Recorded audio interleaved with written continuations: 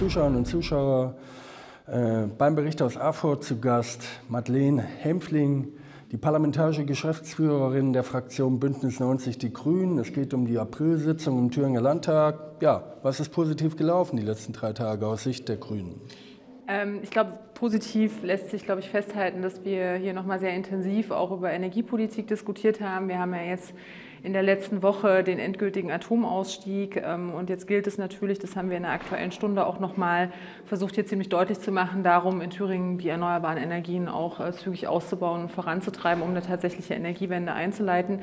Ähm, wir werden heute noch über ähm, das Kindergartengesetz diskutieren. Wir werden endlich die praxisintegrierte Ausbildung für die Erzieherinnen und Erzieher festzurren und dafür auch finanzielle Mittel zur Verfügung stellen.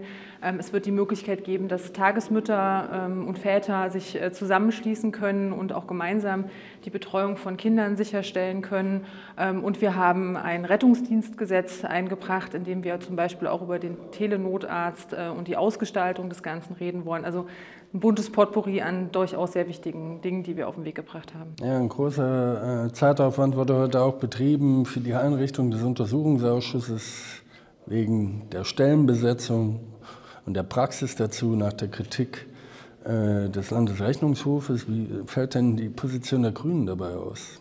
Naja, der Untersuchungsausschuss ist aus unserer Perspektive durchaus ein Mittel, mit dem man da für Aufklärung sorgen kann. Ähm, und die CDU hat sich äh, diese Woche während des laufenden Plenums entschieden, dazu einen Einsetzungsantrag zu stellen. Ähm, wir haben als Rot-Rot-Grün dann äh, heute gesagt, wir wollen da jetzt nicht noch ewig warten und wir wollen vor allen Dingen auch das Spiel der CDU nicht so wirklich mitspielen, das permanent in die Länge zu ziehen, damit sie irgendwie jede Woche noch eine Schlagzeile produzieren können und haben deswegen heute beantragt, ähm, diesen Untersuchungsausschuss ähm, auf die Sitzung, auf die Tagesordnung zu setzen und auch dann tatsächlich einzusetzen. Wir haben dazu noch einen Änderungsantrag gestellt, haben noch ein paar Präzisierungen vorgenommen und der ist heute dann eben auch eingesetzt worden, der Untersuchungsausschuss. Und jetzt müssen wir halt schauen, ähm, was es da aufzuklären gibt. Wir sind weiterhin auf dem Standpunkt, dass unsere Landesregierung da nach äh, Recht und Gesetz ähm, gehandelt hat. Und ähm, das Gegenteil müsste die CDU uns jetzt im Untersuchungsausschuss beweisen. Aber ein Untersuchungsausschuss ist ja auch durchaus dazu da, um zu sagen, äh, es ist doch nicht so äh, falsch gelaufen, wie jetzt gerade öffentlich behauptet wird. Ein drängendes Thema Land äh, ist für die Kommunen und Landkreise im Augenblick die Finanzierung der Folgen der Flüchtlingsfragen bzw. die Finanzierung der Flüchtlingsfolgen.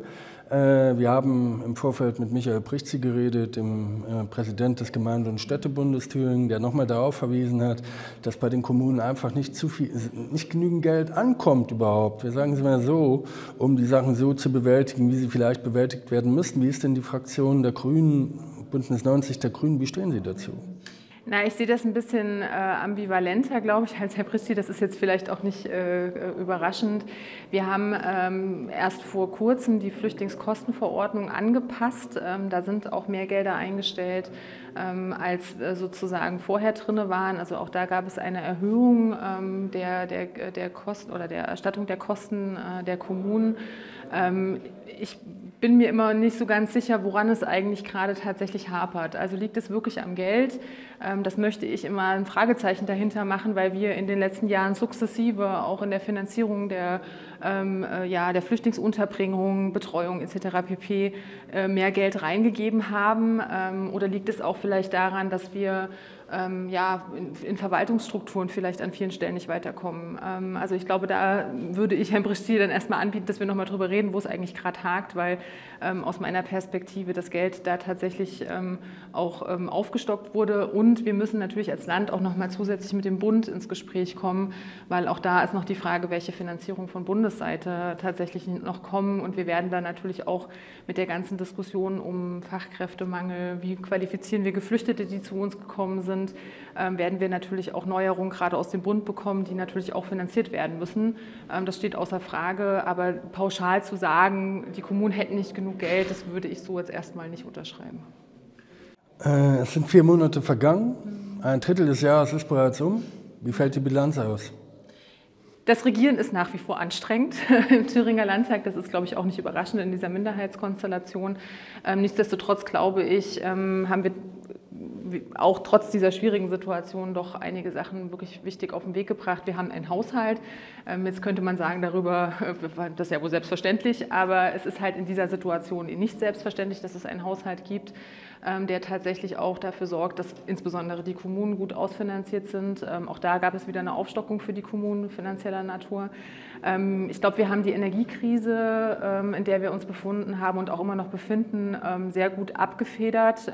Auch da kriegen wir positive Rückmeldungen von den Betroffenen, da wo wir Einfluss nehmen können als Land. Wir haben viel über öffentlichen Personennahverkehr, auch wegen des 9-Euro-Tickets, jetzt 49-Euro-Tickets diskutiert. Auch da sind wir, glaube ich, an vielen Stellen weiter weitergekommen. Da haben wir einen Antrag durchgebracht, ähm, der auch nochmal klar zieht, dass wir natürlich neben dem, der Tatsache, dass wir es günstiger machen wollen für die Leute mit so einem Ticket, auch die Taktung, also auch das Bereitstellen des äh, öffentlichen Personennahverkehrs ähm, viel stärker in den Fokus genommen werden muss, damit eben auch die Menschen im ländlichen Raum davon profitieren können. Ähm, wir haben in dem Bereich der äh, Bildung viel, viel diskutiert und auch auf den Weg gebracht. Momentan wird sehr intensiv über die Lehrerinnenausbildung gesprochen, auch über die Quereinsteigerinnen, also wie schaffen wir es, ähm, die große Lücke, die wir haben bei den äh, Lehrkräften auch tatsächlich zu füllen. Ähm, das nehme ich durchaus äh, konstruktiv wahr im, Landtag. Aber es gibt natürlich auch viele ähm, Baustellen, die noch offen liegen, wo es hier gerade schwierig ist, sich zu einigen.